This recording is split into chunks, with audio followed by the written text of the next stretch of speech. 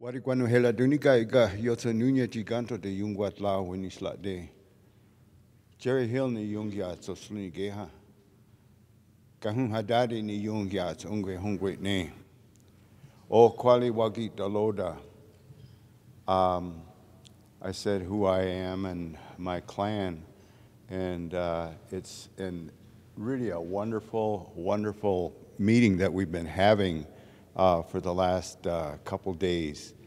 And it seems like it keeps getting better, and I'm happy to see our uh, relatives from uh, across uh, Turtle Island to be here. And uh, I'm very happy, and I know you are too, to hear people use their language.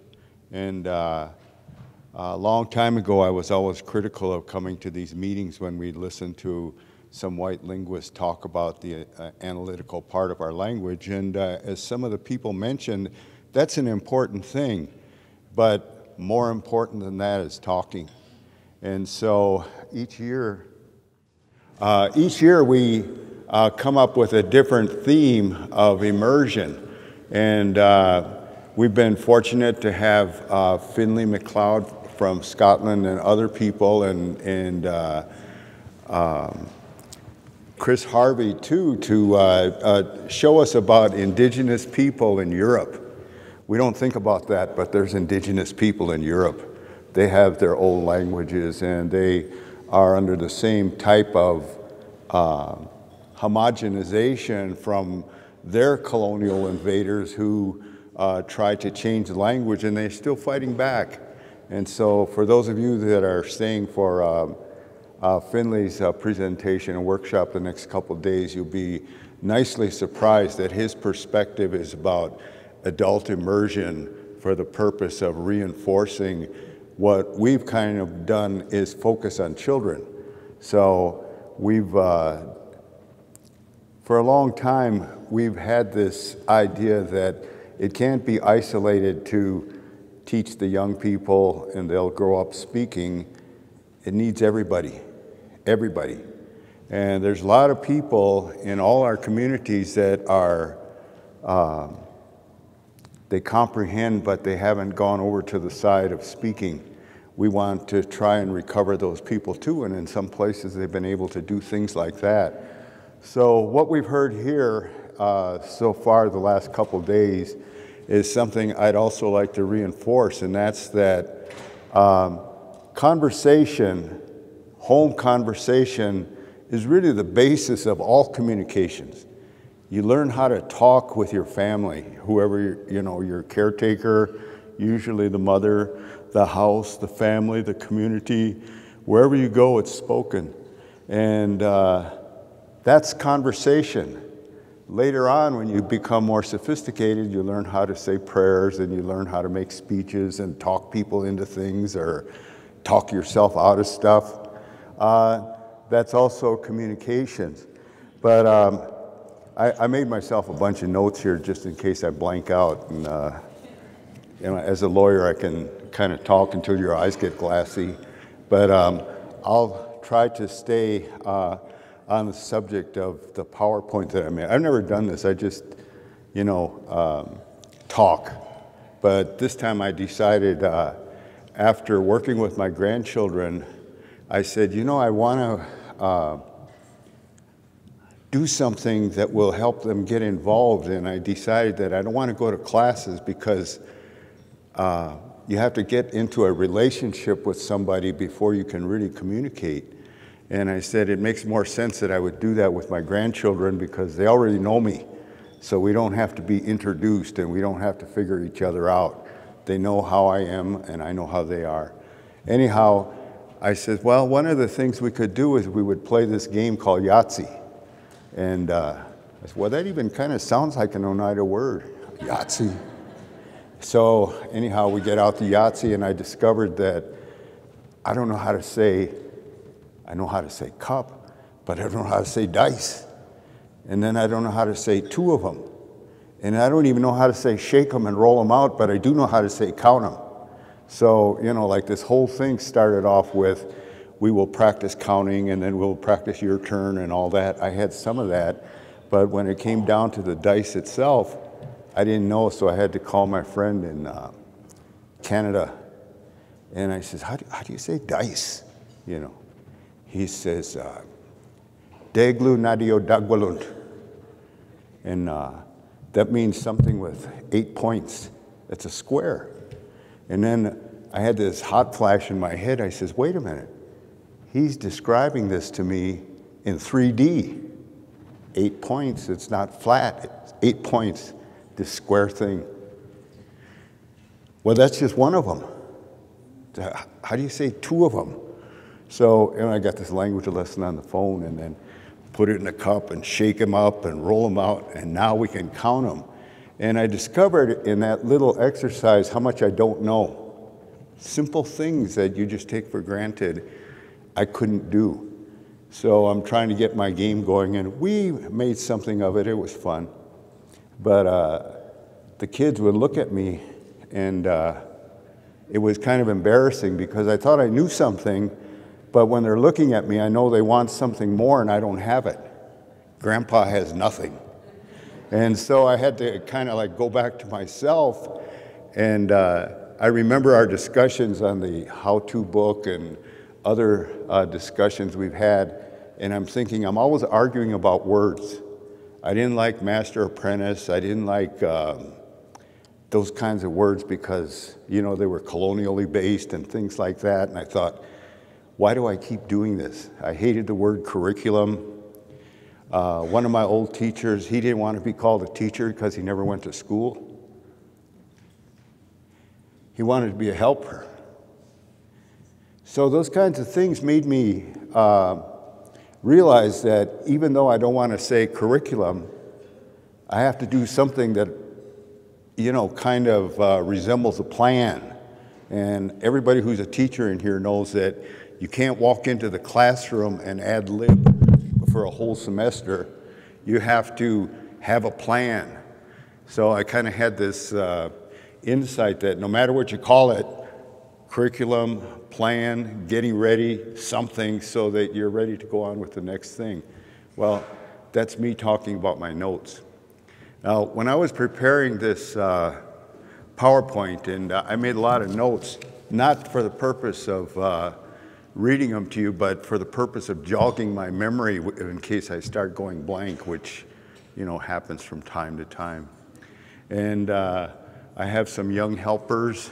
Alex has uh, helped me set this up, and my uh, clerk at home, she put it together for me.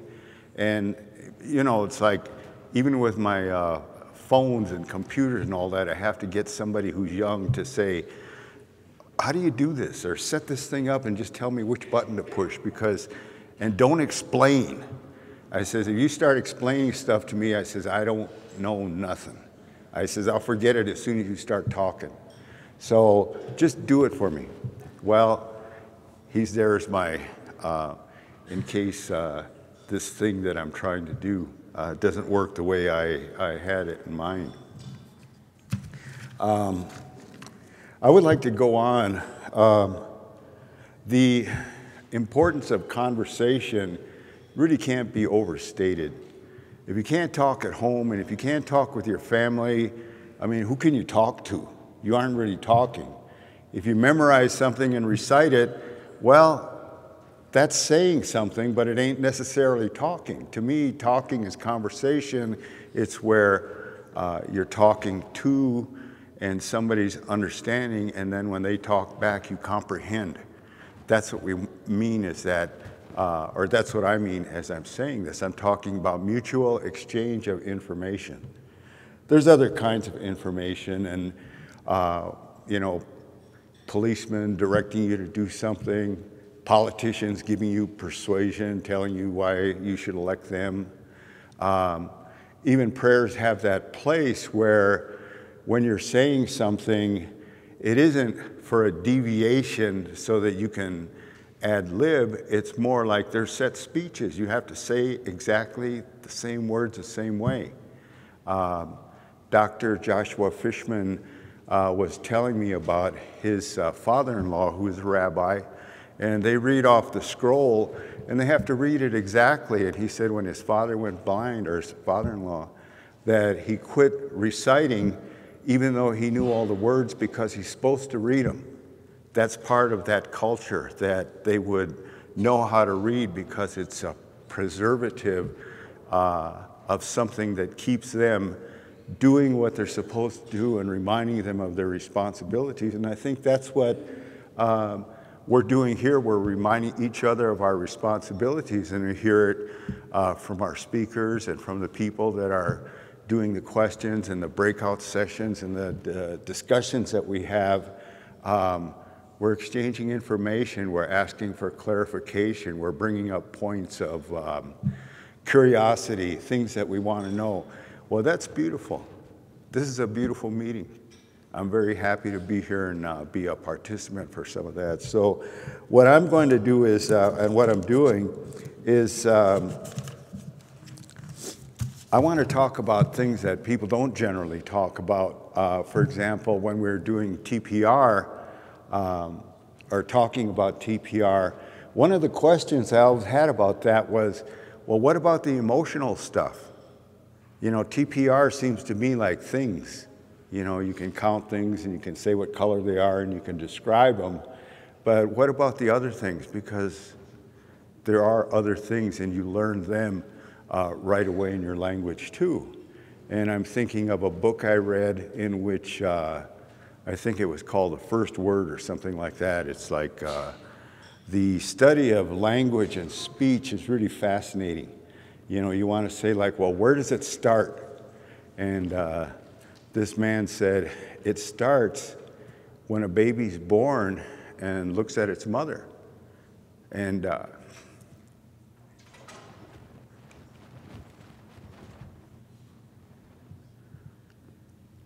There's, there's no words for that. But there's something going on that gets abstracted into noise, and then noise gets abstracted into uh, meaning until babies start talking. Well, part of what I want to say, and, and if this thing works right, um, I want to kind of point to the spirituality and a philosophy of uh, language in general and also the, um, uh, what I would consider the magic of speaking. You know, how do we know how to do this? One of my teachers uh, worked in daycare. He said he always talks to these kids in Indian. And uh, his routine was to bring up his box of stuff, and it was the objects, and he'd go through them and they'd repeat them after him. But when as soon as he walked into the room, he talked Indian. And he talked Indian to these kids for the whole time. And uh, in one of our uh, breakout sessions, some of the teachers were talking about uh, discipline and sassy children and things like that. And that's a, a, definite aspect of school. You know, you can't have an orderly room if you got uh, young kids competing with you for attention. And uh, in one of the classes that he did, uh, one of the teachers stayed in there and she knew all those kids and she spotted them when somebody started fussing around. She just move in and move them away to keep order. Some of the other classes he went to, as soon as he came in, they went off and took a break, smoke break when he was there. He couldn't stay there very long. He could stay there 10 or 15 minutes, but he was not there as a disciplinarian. He was there as a uh, somebody to share something because he loved his language. And uh, he had respect for the language. And during one of the times he was telling me about this, he says, um, he says, um, yungwa wanasu. Our languages are dying. That's a message we've heard up here. That's something that uh, Chris went through yesterday or the day before with the domains and the explanation, and you could see how that happens. It's reinforced by whatever study you want, but you could see like the language is going down. And we're all here because we don't want it to go down. We want it to come back up again. So when we hear the language, we know how beautiful it is And anything you can say in any language, you can say in our language too. And uh, it might take a while, but there is no word for word translation, and we don't want to translate anyhow. What we want to do is communicate the ideas that we have and what we're thinking about to somebody else, not for agreement, but maybe for uh, them to be stimulated to say something back to you or maybe correct you or something like that. So I would say, like, I, learning all this stuff from uh, these people, my teacher says, you know, when he holds up a little baby, infant baby, he says, babies, I'll look you right straight in the eyes. They don't mess around. They're just right in your face. And he says, they're there because they're interested in you. They're interested in what you have for them, whatever it might be. It's an emotional basis. So you talk to them, and caretakers and moms always say loving things to babies. But as we get older, we say less and less loving things until, you know, when you get really old, like uh, somebody was saying, you build a wall around you. Um, you know, you're just full of poison and, you know, hatefulness. And, uh, well, if he's going to the meeting, I'm not going, you know, or, eh, you know, you just brush everybody off. Totally uh, disrespectful. You're not open to the ideas or to the messages that are coming through. He says, but a little baby right in your face, they can't say anything. You can't explain nothing to them either. You can say, ooh, ooh, you know, quit crying or whatever. Uh, they're in your face, they want to see something. And he says, as soon as they start squirming around, that means you ain't interesting anymore. Put me down. Put me someplace where I can either rest or learn something or be around somebody who's more interesting than you.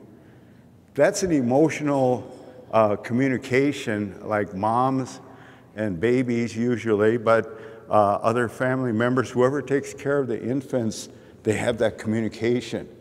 No words, but something's going on.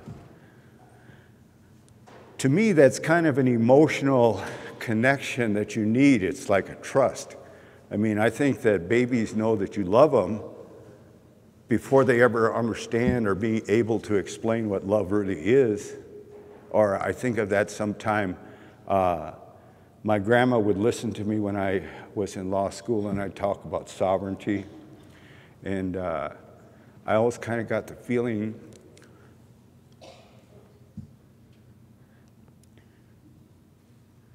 that she was letting me rave on because all that stuff I was talking about was really white man words for who we are and our identity. And she didn't need that. She could talk. She went to church. I used to be down on Christians, and I thought, well, my grandma's a Christian. That means I have to be down on my grandma. I says, well, that don't work. So I had to be more tolerant. And I'd say, well, does it really matter where people go to church? Does it really matter that. And I thought, no, what matters is how you act and how you treat people. And so that was one of the things that I'm thinking, well, I can't explain to my grandma, even though she's quiet and she's listening to me. I'm sure she don't understand, and she's probably proud of me for doing all this stuff, but it don't mean nothing to her. Later on, when I started going to court, I was up on the Menominee Reservation, and I'm a public defender, and uh, I'm defending this guy who lived way back in the woods. He lived so far back in the woods. Uh, uh, when he was being tried for disorderly, which was an interesting story too, um, I was looking at him and I said, You know, this guy doesn't know that he was terminated. And then he was restored. All went right by him. I says, that's sovereignty. He knows who he is and he knows where he's from, and he ain't going no place else, and he's going to keep living the way he does. I says, that's being able to trust and rely on where you are. I says, that has a lot to do with it. Now, if you uh, go to law books and go to um, various of the uh, federal statutes, you'll see the definitions of tribes and Indians and people trying to get recognized and people uh, doing things in the name of law. That's a big, long definitions. And then if you get some other lawyers up here, we could have a big old roundtable discussion about sovereignty. And uh, I forget, uh, um, Dr. Little Bear was saying you can talk at them until their eyes get glassy and nobody cares except you, little group up here talking about sovereignty. Well, we're all showing off for each other and we're all arguing about that. But it's really not what matters. It matters like, how do you really know who you are? You know, I was talking with one of my brothers and I said, How do we know we're Oneidas? How do we know that? We know that even our uh, bitterest enemy, Oneida and detractor, he's Oneida too. How do we know that? We can't take that away from him. Some places do. They try to do a, banishment and disenrollment and things like that. And that's really arguing about how you get a share of the, you know, the money. And uh, those are, are the kind of things that we argue about. Yes, you are. No, you're not. You know, like that. And it, it's an argument that never ends. It's a negative argument. You know, it's like you aren't who you say you are. You aren't who you think you are. That's what somebody uh, the other day was saying is identity theft. On our reservation, we have a little township called Hobart, and we were there before they were, but they hate us. And so they do everything that they can against us, including taking away the reservation and just calling it Hobart. We live in the village of Hobart. And I said, I don't like living in the village of Hobart. I like living on the Oneida Reservation. That's why I'm home. I want to be in that place called Oneida. I says, you know what? That's identity theft. I says, they want to make us use their zip code. You say, well, it's just a zip code. What's wrong with that? And I says, what's wrong with it is, I says, on every map, it's identified as Hobart. You can't find a map that says Oneida except our map. They're trying to make us like uh, Back to the Future, you know, where the, where the guy starts uh, disappearing when you look at the photos until it never existed. They don't want us to exist, but we exist. And so we're fighting back on that. Those are the kind of things where identity theft is slow and imperceptible, but at the same time, it's very important. And so when people are speaking their language, that's a time, and they said that in um, uh, some of the, the, places I've been to, uh, you take your language with you. Uh, Tom Porter, uh, my friend from uh, Kanatsiohareke uh, in New York, he said, You take your language with you. In the old days, he says, people were uh, advised when they go someplace to take your words with you. And if you have to talk with each other, you don't say, um, May I have uh, time for a caucus? You just start talking in your language. And if you've ever been in a place where you do that, you can see the power of the language because in English, the lawyers and the parliamentarians and everybody else has control of the meeting, even what you talk about, even when you can talk. But when you start talking Indian, they just really get quiet because they want you to shut up. They want you to quit talking with each other. They want all of us to quit talking with each other. You know, they just want us to be there for the photo op and look pretty and, you know, come up and say the uh, uh, oratorical words and things like that, but they don't want you to be alive and they don't want you to think about things. Well, one of the identity factors that have been repeated here is culturally, our language is something that identifies us more than anything. Sovereignty is being able to say who you are and why you're different from them. And we're not saying better than, we're only saying that we are who we are, and we know why we're here, and we understand our responsibilities to uh, future generations. And we appreciate the things that our ancestors have endured because we're enduring some of them now. And uh, something Chris said the other day, I was asking a question, and my question really was kind of colonially based. I says, well, I want everything to be perfect. I want everything where you can just take a pill and everything gets fixed. And he said, Well, he says, you go by domains. And the domains, the first time I really understood the idea of domains was in general, I could describe it, but domains in the sense of fix what you can, do what you can, do it here. That's what I'm doing with my grandchildren, as good as I can, which I have to say is better than nothing, but uh, it's really uh, beautiful and reinforcing when my uh, grandkids call me Laksot. They know that that's not my name, that's my title, that's my relationship with them. And so we don't have to say we love each other because they don't know what that means yet, but they're coming to that place. So there's an emotional component of things that we have to include in our conversation. I don't like that. Not liking or negation is another part of speech. Arguing, exchanging ideas, that's kind of getting on that emotional level again. So we say these things and do these things uh, as ways of expressing our thoughts. I like this, I don't like this. I don't want to do that. I disagree with that. We have to say all those things. I even went further. I had a lesson from one of my teachers. I said, Why are they always so goddamn jealous? And he says, I never say they're jealous. He says,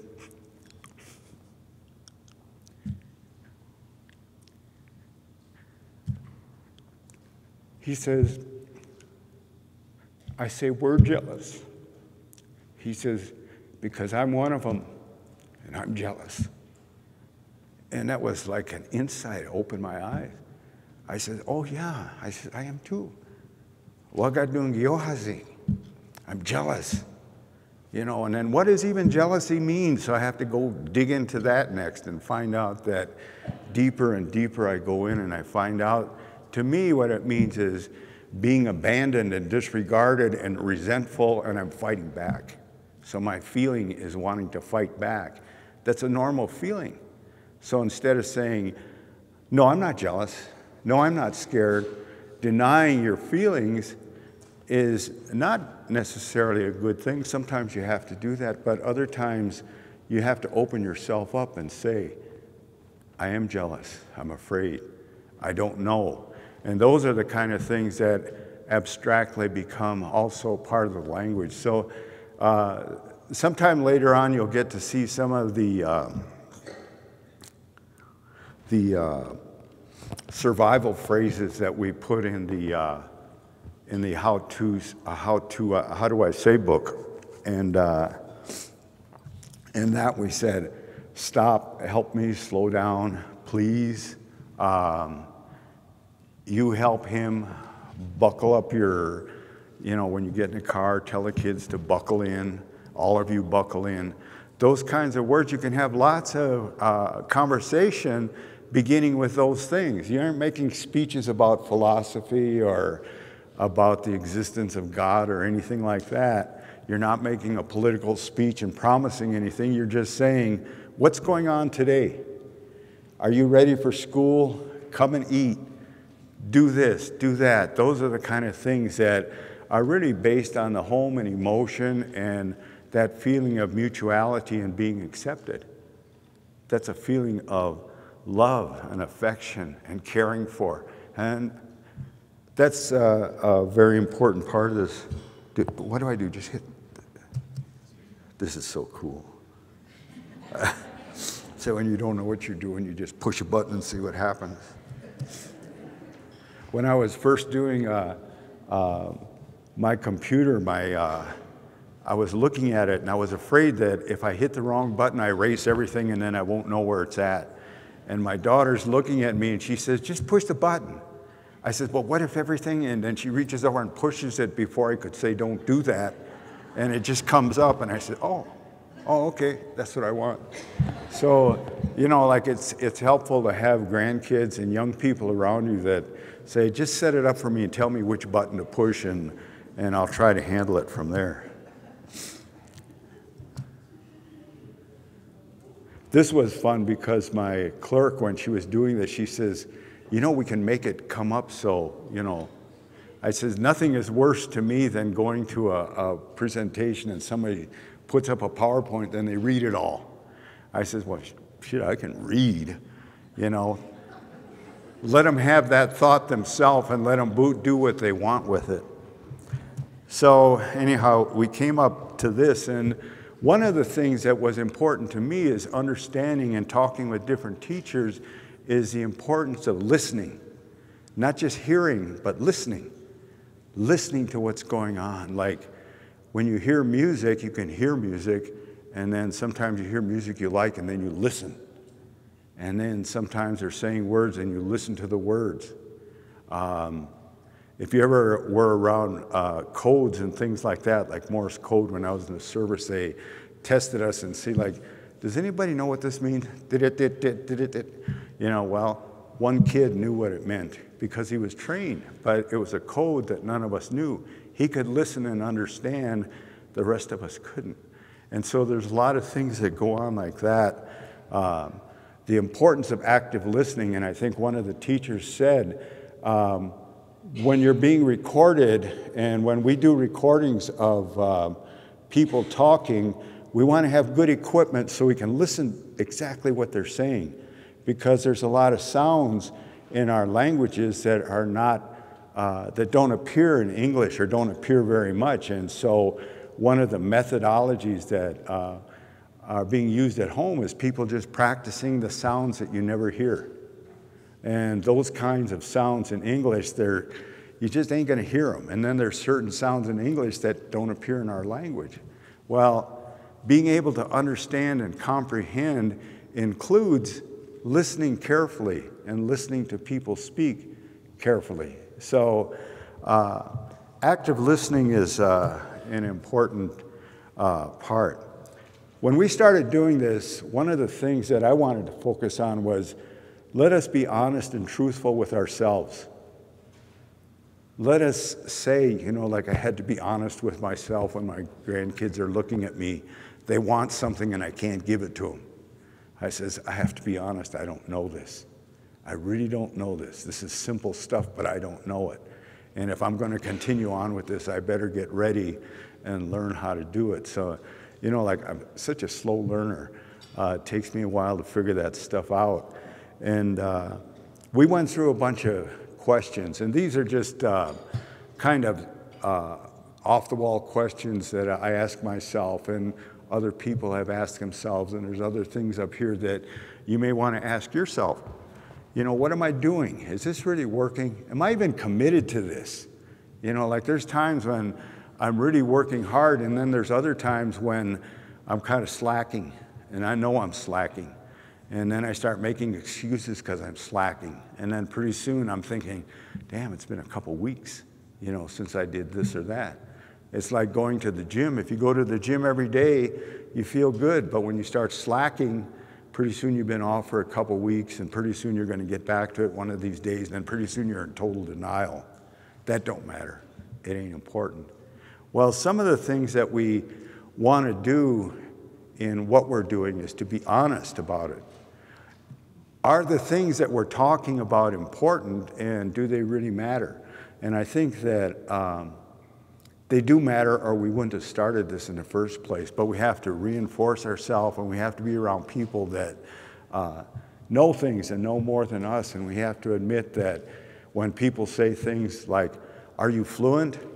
Well, it kind of depends who you're talking to. You know, if I'm 10,000 miles from home and I'm pretty sure there's no Oneidas around, uh, I could say, I say, Yes, I'm very fluent. so we do everything in our language all the time. But when you get home, and you start talking to people, well, when you talk to an elder or a speaker, they know right away how much you know. They just know it. They can hear it the way you talk. As soon as you start talking, they know that this guy really don't know much.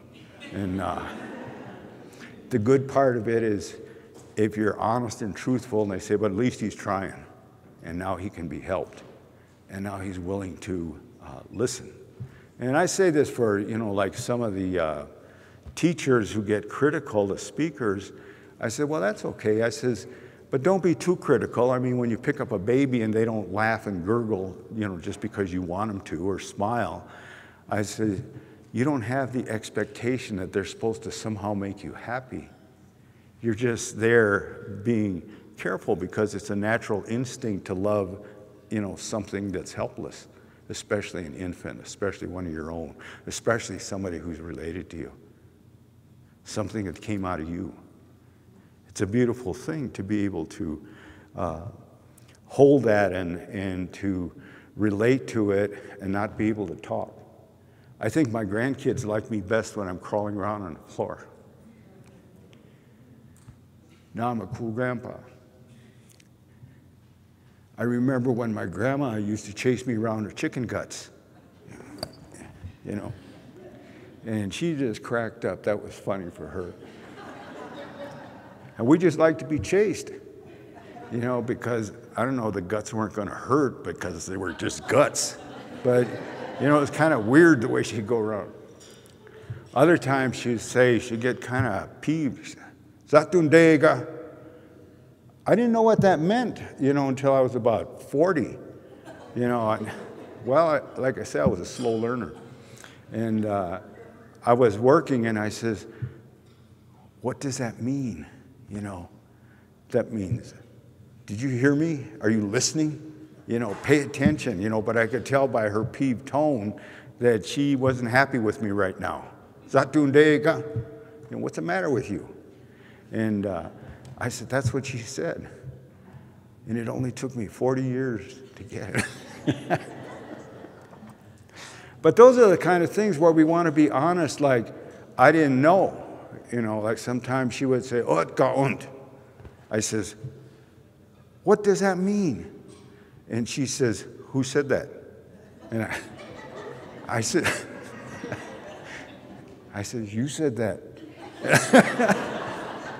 She thought nobody was listening.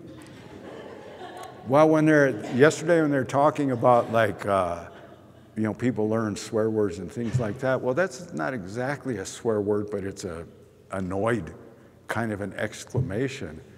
She says, well, it means like, must be a snake, or, you know, like something that startles you or something like that it was funny, you know, because she would own up. She was, you know, like my fun grandma. My other grandma didn't talk to me like that, but this grandma was engaging. And uh, it wasn't a lesson directly, but it was teaching me something about uh, your own expression. And she didn't chase me out of the house because I was not behaving. She would. Uh, show me that that's not a proper way to behave or that's not something you should be doing right now. That's a communication. So some of the communications are about words and some of them are signals of certain, uh, certain kinds of behavior. So these hard questions um, that we uh, asked ourselves are something that I would encourage you to just, you know, you don't have to wait for a linguist to come in and evaluate your program what you have to do is sit down yourself and say, Are we having success with this? Are we actually producing a speaker someplace along the line? And you do, you see them. They'll come in and they'll say something, and uh, uh, it sounds like you haven't had a lesson on this, but you say it perfectly. So I remember this old lady says to me, she says, You said that just right pat myself on the back. I says, wow. And then she says, we're in front of people. She says, and if Jerry can do it, anybody can do it.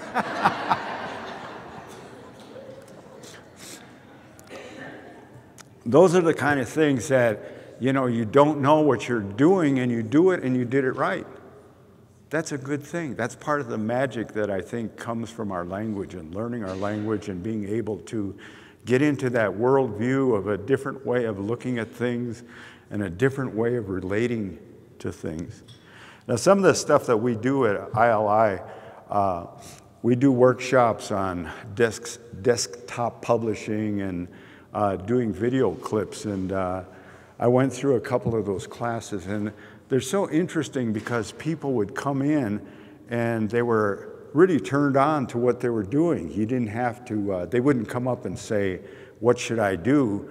They would come up and say, I want to do this, you know, and then we'd show them how to write a script and squeeze it down into a two or three minute piece so that somebody could hear what they did. And while they're doing that, anybody who's done any of that, excuse me, knows that when you're preparing your little clip or your little story, whatever it is, you're really focused. You're focused on what you want to do and you're focused on how you want to say it. And you want it to be right because you're going to show it to people. That's good stuff. And, and when we were doing that, uh, sometimes in the old days we'd say, well, we want to write a book and then we want to send it away and get it published and then we have to pay for it and all that. Well, uh, our team came together and uh, they showed us how to do it. Well, you could do that on your computer. Well, you don't have to ask anybody for permission. Well, you can do it right now. Well, you can produce this in two or three days. When you get tired of it, you can do a new one. That was the beauty of those kinds of things to say, like, you could tell a story, you could tell a joke, or you could tell a little biography, or you could give some kind of um, uh, process for doing something, and you don't really have to show it to anybody unless you feel like it. So you have lots of control, and the beauty of it is just being able to do it. And you get tired of it and you move it along because all you people that are artists know very well that when you start getting to the end of your work, you're already thinking about the next thing you're going to do. That's the creative process. We're always thinking ahead to the next thing. So, this self uh, materials, are very important and very useful in places where there's not a lot of money and where there's uh, good speaking resources and you don't have time to be waiting and engaging your students and doing some of these projects is a, a good way to uh, uh, communicate and uh, use the language. We talked about innovative projects, things that aren't happening. You know, like the tribe puts on a program and they're funded by ANA or somebody else, and they have, you know, certain project goals and things that they have to accomplish, and that's one thing. And then we have immersion camps, and but there's a lot of other things that can be done too. We can have boot camps, we can have homeschooling, we can have uh, like the card games or table games I mentioned even coloring. Maxine and I did a coloring project long time ago. It was a creation story. And uh, the artist had done 80 drawings, line drawings in black and white. And we just got a whole bunch of crayons and markers and things like that. And we just sat around for weeks coloring these things. And we were laughing and joking. Hey, this one looks like Ralph. Don't tell Ralph. say, how come my guy's pink? You know, like it was easy to do trees and rocks and grounds and grass and things like that, and sky. But, you know, when you get down to people, it's hard to get people, you know, get them the right color, and then to get them the same color in the next thing, and to get them the same color. We got guys from, they were purple, and some of them were bright pink and everything, but it was fun. It was something to do being around doing something like that is uh, uh, something too. I've been talking about philosophy for the whole time, so I'm going to say. The stages of acquisition, I've kind of gone through that too. I think it's emotionally based. I think that's one of the things that it starts off with.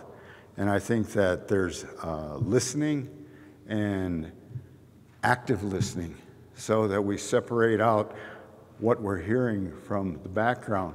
But it doesn't mean the background isn't important. I was reading about this uh, woman who records background for movies. So, you know, like in a restaurant or something like that, she'll just uh, uh, tape a whole bunch of, you know, like the sounds that people make at dinner and when they're eating, just the conversations. You don't really hear anybody's conversation, you just hear words here and there, uh, the clinking of glasses and things like that. That's important. She sold that. That gives a reality to some of the scenes that we're doing.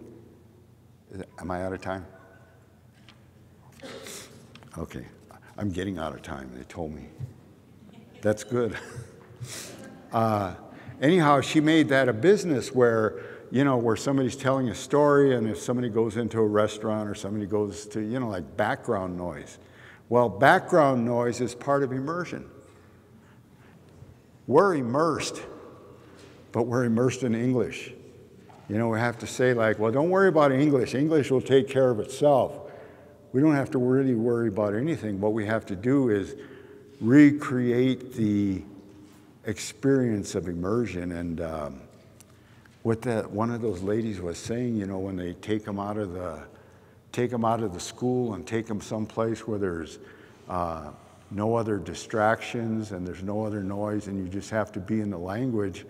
Um, it's really intimidating until you finally like. I don't know if anybody's ever gone to jail. Um, I've gone to jail, and uh, you know when you go to jail, you know you finally have to realize that you're not getting out of here until somebody else opens the door and lets you go. So you're here for whatever duration it has to be. And I think, in some sense, when we take people out of the classroom or take their minds out of something else, we're trying to hold back that wall of English that doesn't want anything else to come in. That's what we're doing. And so uh, listening becomes important. Um, the various uh, atmospheres that we're in ourselves, including the atmospheres that we can control. And like the teacher I was telling you about who stayed in when my language teacher came in for the uh, daycare, um, she was a white woman and she learned how to talk. And we knew that she knew how to talk uh, because we walked in on her sometimes and she, we busted her talking Indian. That was really cool, and she was good too. And some of the Indian teachers get mad at her because, like, that's ours, we shouldn't be learning it. I said, Well, why don't you stay in here instead of taking a smoke break when the teacher comes in, and the speaker comes in? Well, I didn't say that, I just thought it. But I said, So, you know, like it's all emotional. And she wasn't a person that was saying, like, I know more than you about you she was just doing what she did in school. She was taking care of the kids. She paid attention to them because she cared about them. And she cared about this old man, and this old man cared about her. They just talked. That's what they were doing. They were talking. So we're, you know, into this, um, uh, the kinds of speech, uh, something I got from um, our board member. What was her name from Oklahoma? She's gone now. Yeah, Margaret Malden. And she was a language teacher, and I heard her speaking once, and she said, well, there was different kinds of language. There's conversation and persuasion and oratory and litany. I've gone through them. But, um, you know, that struck me. I says, yeah, there is. There is. You know, like I'm doing something now, which is not exactly conversation, but I hope it leads to some. And other times when I don't know if I'm persuading you, and I'm not asking you to vote for me or anything like that. And this is not a prayer session, so I'm not being religious about things I don't know anything about. But all these things come from conversation. That's what I think. I mean, I don't know if anybody agrees with me, and I actually kind of don't care unless they can think of a better way to explain it. But to me, if you can't converse at home, well, everything else you do um, is kind of diminished by the fact that you can't bring it all the way from home, which is, you know, yourself and in your heart and in your thoughts and everything that you have. Somebody said we should have dictionaries, and I said, dictionaries are good. I says, but dictionaries are for reference. And a dictionary doesn't do anybody any good if you can't talk. So, you know, like the real dictionary is in your head. You know, like when you're just stranded and there's nothing there but you, you have to go with what you got. And sometimes, like with my grandkids, I didn't have anything. And at other times, I'm uh, ready to go and I'm prepared for what I'm doing. Now, this, uh, I want to show you something about, uh, and I'll end it off with this too. Uh, there was a couple things that I wanted to show that showed the diversity of languages. I couldn't get one. One was on the third rock from the sun, in which uh, Tommy is arguing with the old guy. Um, anyhow, they're speaking in different languages and they're like competing. And they're speaking Chinese and they're speaking Russian and they're speaking German and they're going back and forth. And I was thinking, wow, man, that's talent. I didn't think they could speak the language, but they were prepared to give that exchange. You know, it's like, you can say anything you want. I'm, I'm understanding it and I'll give it back to you. So they're doing this back and forth. It was pretty amazing. Couldn't find that one. It kind of reminded me of something I've heard people say, like you have to learn your language so that when you go to heaven that the creator will understand you. And I thought, wait a minute, if it's a creator, I'm pretty sure he understands everything I can say or you can say. I said, what about mute people? They, said, they can't talk at all. I says, I'm pretty sure God can, you know, communicate with them too. Uh, it isn't to criticize the idea, it's to give it, you know, the idea of when you know everything, then uh, you don't have to be explained. And uh, I think that nobody knows everything. You know, we just share these little bits and pieces of what we know. And uh, what I've tried to do today or this morning, or what I've aimed at, was to try and share the what I consider its magic of awareness. How do you even know, like I was saying with my brother, how do we know we're Oneidas? I mean, we just believe it. We believe it. And how do we know they are who they say they are? Because they believe it. We accept their words that they believe something, but sometimes you know things and then you become aware. And so I want to share this little piece of something that I got out of watching um, The Simpsons. And this is about language. And Alex, show me which. See, I need the guy to show me which button to push. This is embarrassing.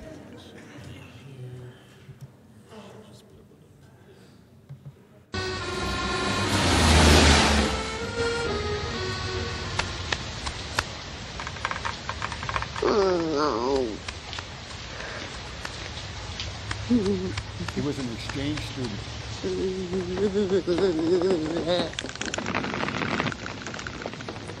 You're a policeman, aren't you? Excusez-moi, je ne parle pas anglais. But you gotta help me. These two guys I'm staying with, they work me day and night. They don't feed me. They make me sleep on Tiens, petit garçon, voilà un bonbon. I, I, I don't want a piece of candy. I need your help. Come on, mister. Can you help me? Je suis désolé. J'aimerais vraiment pouvoir vous aider. Oh, forget it. I am so stupid. Anybody could have learned this dumb language by now. Here I've listened to nothing but French for the past deux mois. Et je ne sais pas un mot. Hé! Mais je parle français maintenant. Incroyable! Et monsieur, aidez-moi. C'est de tes nous faut travailler et nuit. Ils ne me donnent pas à manger. Ils nous font dormir par terre. Ils mettent antifreeze de vent. Et ils ont donné mon chapeau rouge à l'un. De l'antifreeze dans le vin?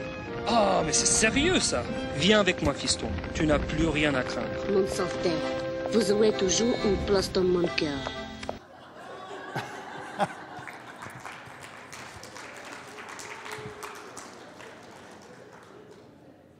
Dani Tonio Leba Galiwat Gweniji Nati ang Galiwayan Dakwa. Nenis Galiwat Skana Wedwat Nutuni.